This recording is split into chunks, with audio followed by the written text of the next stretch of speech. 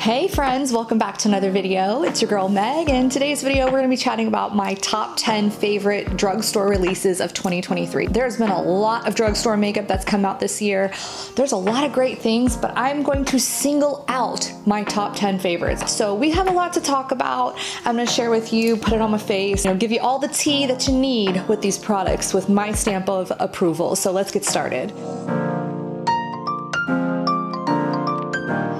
If you like affordable, attainable beauty, make sure you hit that subscribe button and like button, okay? So this first product you can use in a bunch of different ways. Um, this is the Physicians Formula Butter Glow Liquid Bronzer. It's a really great dupe to the Drunk Elephant drops that everybody's going crazy over. Physicians Formula released this liquid bronzer this year. I like to use this in two different ways. Let's say I've self-tanned my entire body and my face doesn't kind of match my body.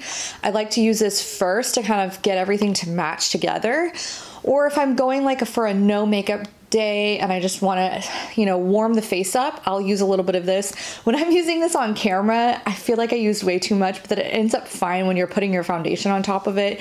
But it's a good way to like warm stuff up. You can mix it with your foundation or you can honestly take just a little bit, put it on the back of your hand and then take your like makeup sponge and just sort of dab it around the face. It's really easy to work with, really easy to blend out. And if you overdo it, it just honestly blends, blends out really easily. You can mix it with moisturizer. Don't overthink it. Just kind of apply it and blend it out. Okay, and this is a newer launch. This launched within the last, what, like month or two, and it immediately blew me away. And it is the Maybelline Super Stay 24 Hour Skin Tint. I have a whole um, Instagram reel talking about this. I will link below. It's definitely not like a tint, you know what I'm saying? It's not like a, oh, this is a, a hint of coverage. Girl, this got coverage. It is coverage. You get like medium coverage with it. It's really, really nice. When you look at, at the bottle, it seems seems pearlescent, like it's, but it doesn't look shimmery on the face. But it's healthy, it's got a nice glow, and the best part is that it wears. Like the first time I tested this was a terrible day where I was like stranded on the side of the road because my tire blew out and I was like crying in my car. I was like, this, these conditions are conditions to test this in. And let me tell you, it's amazing. The one thing that I absolutely loathe about it is this dropper applicator. It's a, an entirely too messy. Why are we doing this? We don't like this. We want pumps. We want a squeezy tube. I did buy some pump toppers off of Amazon. They should actually be here today. So I'll insert a clip of what that looks like when I've got it on my skin tint. Just trust me on this that you need to try it. It's so good. It wears really well. But don't go into this thinking you're gonna get this like super light coverage. Yeah, you could sheer it out, but mm, it's beautiful. This product I'm literally almost out of because I've used it nonstop. I'm gonna have to buy another one and it's the e.l.f. color corrector in the shade Peach. So they released, I think four or five different color correctors this year. They're all $4. They're super inexpensive and they have this really nice flat doe foot applicator and I think the Peach is great underneath my concealer to cancel out dark circles.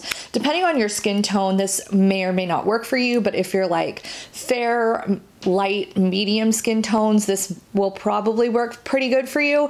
If you're deep, you wanna try the orange one. Anyway, this is great. It wears beautifully under concealer, helps prep the under eye area for concealer, just really like is a nice, beautiful step under there. If, if I just do concealer without a corrector underneath, my dark circles poke through and tend to look a little gray. So this is just perfect, like this is a must for me. And like I said, I am almost out of it. Like I need to go repurchase another one. It's beautiful. High, high, highly recommended. It's it's lovely. Number four is a concealer product that I think is awesome, and I'm not sure that it's getting the hype that it deserves, and it is the Flower Beauty Get Real Serum Concealer. And this stuff is beautiful. It reminds me quite a lot of the Ilia Serum Concealer, very similar in consistency where it's very thin, liquidy. It does pack a punch, you know, it does have some coverage, but it's not like so, so heavy of coverage. It feels super lightweight. It just blends out really easily. It's hydrating under the eye. So if you like a serum type type thin consistency with some pigment, good medium buildable coverage. You're really going to like this. The applicator on it is really unique. It's almost like a spoon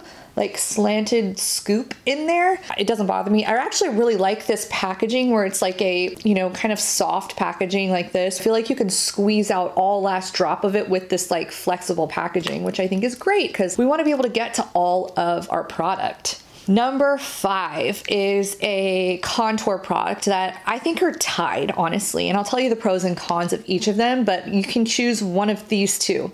And is the e.l.f. Halo Glow Contour Wand and the Flower Low Light Liquid Contour liquid stuff. As we can tell, these like beauty wands are all the rage because we're trying to be like Charlotte Tilbury. So drugstores picked up on this. They're both great and they have their pros and cons, but I do think this like they're about even for me. Let's go with the cons first.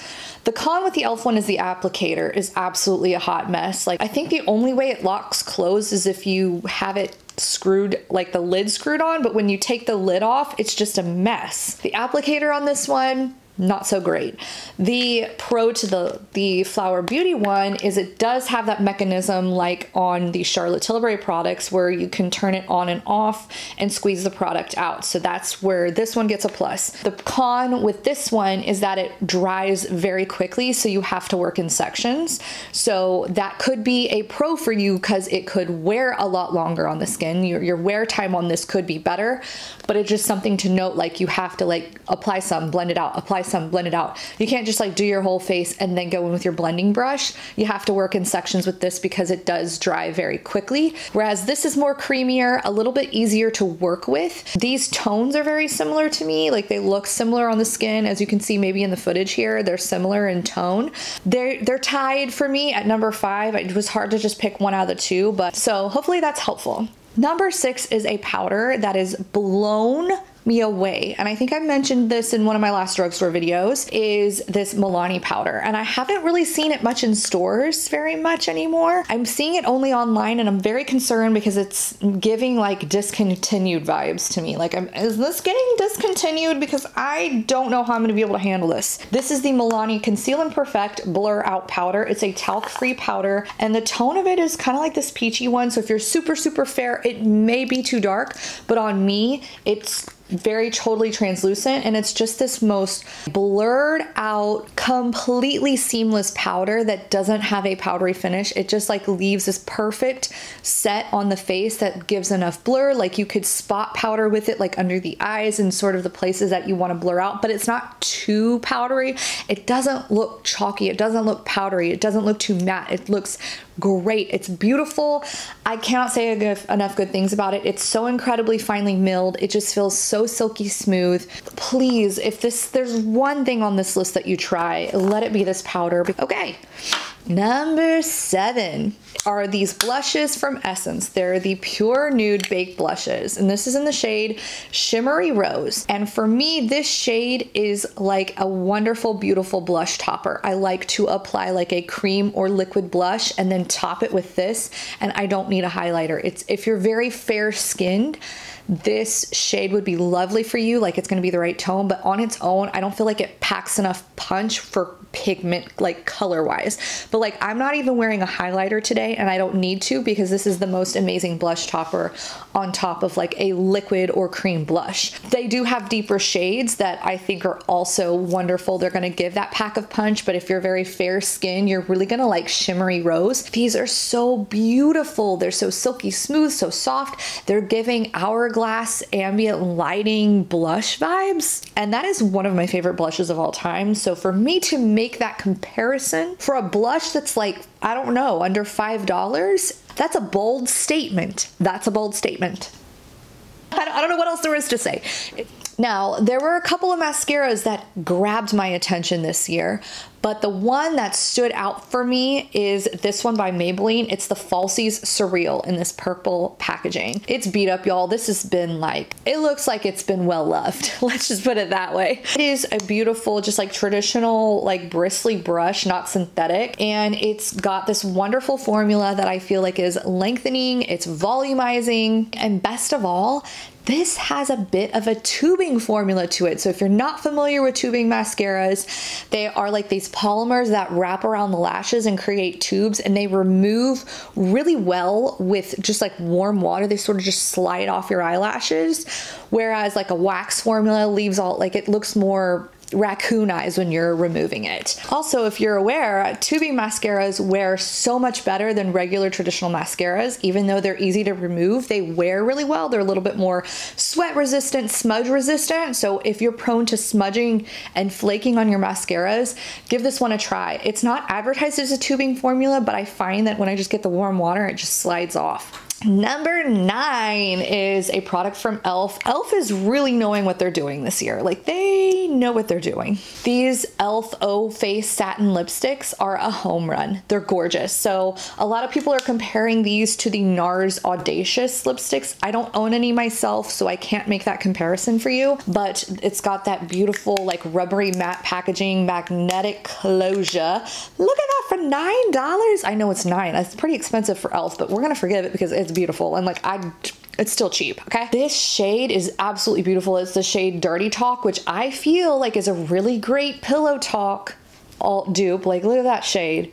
It's so pretty. I feel like it's one of those universally flattering mauve shades. It feels high-end. If you put this in my hands and you said, try this high-end lipstick on for me, I'd be like, I believe you 100%. It's absolutely gorgeous. And last but not least is this gloss from CoverGirl. So I have really been into lip oils this year. The NYX lip oil released this year and it's great, but it's just not like, I don't love the applicator. I love the shades on that the NYX one comes in, but I just don't love the applicator. That's neither here nor there. What I'm getting to is I've been in a lip oil lip gloss mood and this from CoverGirl, the Clean Fresh Yummy Gloss, I feel like is the best like gloss gloss release of 2023 over the NYX for sure.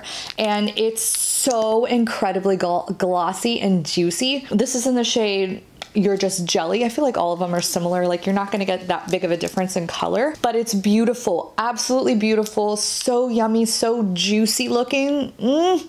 Mm, so comfy on the lips. So if you're a gloss girl, you're really been into glosses, give this one a try. It's so good. Thank me later. It's amazing. We flew through that, but we talked about my top 10 drugstore makeup releases of 2023 because there, like I said, there's been so many amazing releases. It was really hard to narrow this down, but I think I picked a good amount of products that I think you can almost create a full entire face of makeup with. So let me know if you've tried any of these. Have you tried these products? Tell me like what your top favorites are from this year are. I would love to know if I haven't tried it yet for some reason, like I just haven't tried it. I would love to try it. So please let girl know. And thank you so much for watching. Also, before you leave, make sure to follow along on social media. I have all of my handles listed below. I'd love to be your friend there. So thanks again, and I will see you all in my next video. Bye!